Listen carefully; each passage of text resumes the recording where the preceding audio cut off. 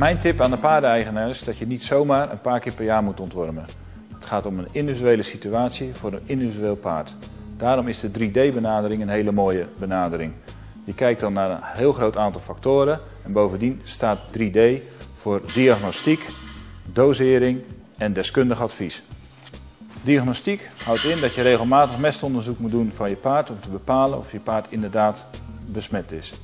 De tweede D staat voor dosering. Dat betekent dat je het gewicht van je paard kent en daarbij de juiste dosering van het wormmiddel geeft.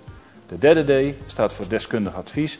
Dit haal je bij je dierarts, want die kent jouw bedrijfssituatie het beste. Met deze driedimensionale benadering beperkt de paardeneigenaar de risico's op resistentie en voorkomt hij gezondheidsproblemen van zijn paard in de toekomst.